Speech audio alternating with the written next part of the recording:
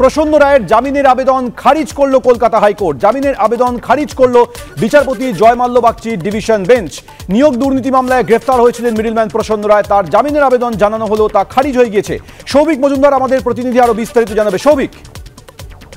দেখো, মূলত গ্রুপ ডির যে নিয়োগ দুর্নীতি ছিল, সেই নিয়োগ দুর্নীতির মামলাতেই এই মিডলম্যান প্রসন্ন রায় তাকে গ্রেফতার করেছিল সিবিআই এবং তারপরে তিনি কলকাতা হাইকোর্টের কাছে জামিনের আবেদন করেছিলেন এবং সেই আবেদন আজকে বিচারপতি জয়মাল্য বাগচির ডিভিশন বেঞ্চের তরফ থেকে খারিজ করা হয়েছে। মূলত সিবিআই এর তরফ থেকে যে যুক্তি দেওয়া হয়েছিল, সেখানে বলা হয়েছিল যে প্রসন্ন রায়, তিনি কিন্তু সরাসরি চাকরি প্রার্থীদের কাছ থেকে টাকা নিতেন, অর্থাৎ প্রার্থীরা তার কাছে এসে সরাসরি টাকা দিত।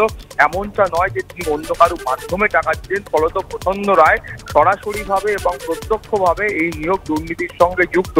এবং এই বক্তব্যের পরেই কলকাতা হাইকোর্টের পর্যবেক্ষণ হচ্ছে যে শান্তি প্রসাদ সিনহা, অর্থাৎ এই নিয়োগ দুর্নীতি কাণ্ডের অন্যতম কিং বলে যাকে অভিহিত করা হয়েছিল, সেই শান্তি প্রসাদ সিনহার সঙ্গে এই প্রসন্ন রায়ের একটা আর্থিক লেনদেনের তথ্য সামনে উঠে আসছে এবং এবং তার সপক্ষে সিবিআই এর তরফ থেকেও যুক্তি পেশ করা হচ্ছে। ফলত এই মুহূর্তে এই প্রসন্ন রায়কে জামিন দেওয়া সম্ভব নয় এবং সিবিআই তারা মনে করলে এবং তারা প্রয়োজন বোধ করলে প্রসন্ন রায়ের বিরুদ্ধে তারা যে ইনভেস্টিগেশন করছে, সেটা তারা কন্টিনিউ করতে পারবে। এই মর্মেই কিন্তু আজকে কলকাতা হাইকোর্টের তরফ থেকে পর্যবেক্ষণ দেওয়া হয়েছে এবং তার ভিত্তিতেই প্রসন্ন রায়ের জামিনের জন্য যে আবেদন ছিল, সেই আবেদন আজকে কলকাতা হাইকোর্ট খারিজ করেছে। সৌমেন। সৌভিক তোমাকে ধন্যবাদ। এর পাশাপাশি আমাদের সঙ্গে এ বিষয়ে আরও তথ্য দেওয়ার জন্য রয়েছে আমাদের আরেক প্রতিনিধি প্রকাশ সিনা প্রকাশ। চাকরি প্রার্থীদের থেকে সরাসরি টাকা নিয়েছিলেন প্রসন্ন রায়। আদালতে এমন সিবিআই দাবি করেছে। কোন কোন প্রমাণ রাখলেন সিবিআই আইনজীবীরা? যে কারণে তার জামিনের আবেদন খারিজ হয়ে গেল।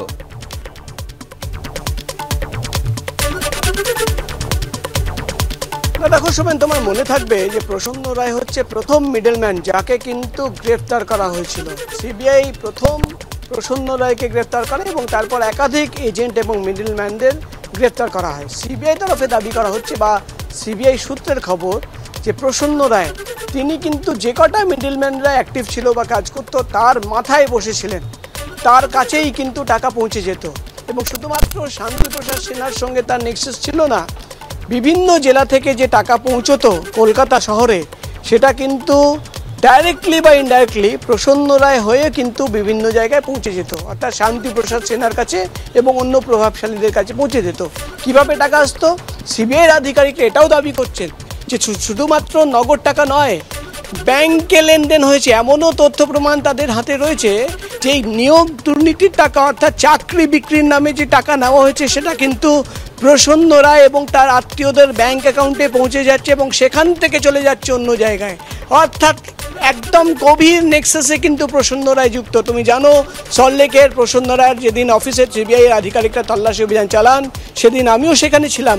সিবিআই সূত্রের খবর, নামের জন্য একটি ট্রান্সপোর্টেশনের অফিস অর্থাৎ কার রেন্টালের অফিস ছিল সেটা।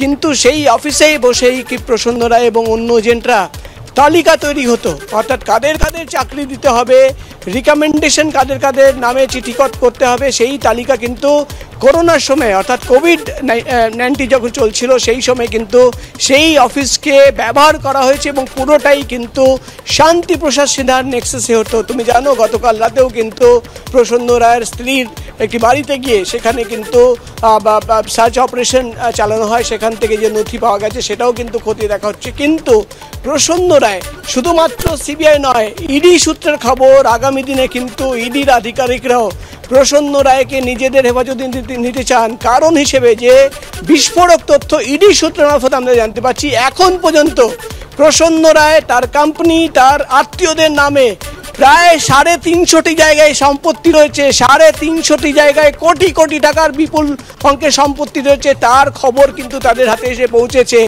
এই এত সাড়ে তিনশোটি জায়গায় সম্পত্তি কোথা থেকে আসলো? কোথায় থেকে এই টাকার উৎস আসলো? এই সমস্ত যাবতীয় তথ্য জানার জন্য একদিকে যেমন ইডি আগামী দিনে তারা প্ল্যানিং করছে, প্রসন্ন রায়কে নিজেদের হেফাজতে নেবে অন্যদিকে প্রসন্ন রায় সে কিন্তু ইম্পর্টেন্ট লিঙ্ক এবং সিবিআই আধিকারিকরা জানাচ্ছেন যে দফায় দফায় এখনও কিন্তু প্রসন্ন রায়কে জেরা করলে শুধুমাত্র প্রভাবশালী যোগ নয় আরও এই গোটা রাজ্যে কীভাবে নেক্সেস কাজ করত, কীভাবে টাকা আসতো, কাদের কাছে টাকা পৌঁছে যেত এই ট্রাভেল এজেন্সির আড়ালে আর কি কি কাজ করা হতো? যাবতীয় তথ্য কিন্তু বেরিয়ে আসবে।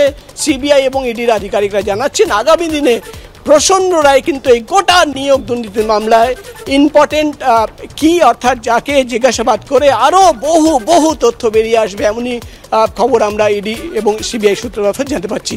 একেবারেই প্রকাশ, তোমাকে ধন্যবাদ। তুমি যেরকম জানালে যে এই প্রসন্ন রায় এবং তার আত্মীয়দের বিভিন্ন জায়গায়, সাড়ে তিনশোটি জায়গায় বিপুল পরিমাণ সম্পত্তির যে বিস্ফোরক তথ্য এই মুহূর্তে কেন্দ্রীয় এজেন্সির কাছে রয়েছে।